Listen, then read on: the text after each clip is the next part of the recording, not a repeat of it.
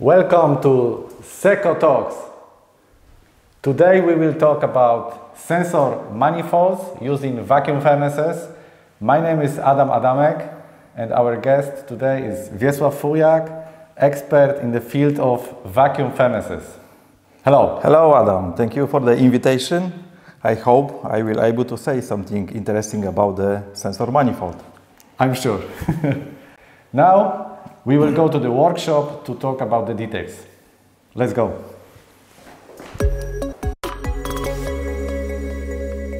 We are now in our R&D department because we need some smaller furnace to show you everything and let's start with the basics. Wiesław, can you explain the basics of uh, vacuum and pressure manifold used in vacuum furnaces? Yes, as you can see here we have the sensor manifold or sensor collector Okay. And in my opinion, it is uh, one of the most important elements of the furnace. Why? Because some of these elements, some of these gauges are responsible for the safety. Okay. Some of them, they are responsible for the control. And from the second hand, there is a gauges responsible for the vacuum and also the gauge is responsible for the overpressure. For overpressure. Everything is uh, located in one place. Everything, not, not exactly most of them they are located in the collector. Some of them they are collected also. They, they are installed on the uh, pipeline, uh, vacuum pipeline. It's very interesting, and because we are now in front of vacuum furnace, but we have to start, in my opinion, about pressure. So, say something about pressure sensors. Yes, on the on the sensor manifold we have uh, two type of the pressure gauge, pressure sensors. One of them, they are responsible for the, the safety. The second one is responsible for the control. And on the first place, we have the analog contact gauge. This contact gauge is responsible for the start of the blower, but uh, also is responsible to cut off the inlet gas valve if the pressure is over the setup. Okay, so this uh, the first sensor makes our process, let's say, safety. Safety. Yeah, this is the gauge responsible for the safety. Do we, moni do we monitor or uh, record this? Uh, yes, we, everything is uh, collected in the, our system. Okay. I will say later on. Also the safety gauges. Yes. And the second gauge, this is a gauge, differential uh, pressure gauge. This gauge is responsible for the safety operation during the opening the door. This one, exactly.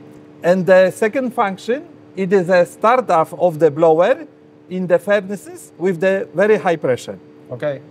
I see some indicators so the operator can see visually yes. the results, but also everything is connected is, to the yes, system. It is uh, especially important if the operator open the door he can see what is the real pressure inside the furnace. He do not need to see in the computer. Yeah, that's why we are in the same place to open exactly. the door and check exactly. the values. Okay. And the third uh, pressure gauge. This is an analog pressure gauge, and this gauge is responsible for the uh, pressure pressure level in the furnace, and also is responsible for the startup of the blower and convection fan. Thank you. And theoretical question, what happens if the pressure is too high? If the pressure is too high, first, uh, first one, this gauge controls the pressure, level of the pressure. Then we have the safety gauge, which also controls of the pressure. If the pressure is too high, this gauge close the inlet valve. Okay, so that's why we have full safety operation. Exactly. Wiesław, many times if we talk to our potential or existing customers, we talk about the processing, but for maintenance people, this is always important how to maintain the equipment. And in terms of uh, pressure sensors, what is important in this case? Yes, of course, each element requires some maintenance, and uh, this contact gauges also require such maintenance. And is of course uh, necessary to clean from time to time to cleaning such gauges, but also because they are responsible for the safety. This is uh, also uh, necessary to replace even for the new one after some times of operation, after, up, up to, up, after three or four uh, years Of operation. of operation. Exactly. But they are also connected to the our safety system. Then our safety system also control condition of these gauges. Then we, if something happened, then we have information about the, the something is wrong. Interesting. We both represent vacuum department, so let's move on to the vacuum. And if you can say, what differ vacuum sensors from the pressure sensors? Yes. few minutes ago, uh, we discussed about the overpressure and the overpressure gauges, but also on the furnace we have the vacuum gauges. And for example, in this furnace, we have the main vacuum gauge, PTR. This gauge is responsible for the measuring, uh, measuring the vacuum in the all range, from the ambient pressure to the end pressure.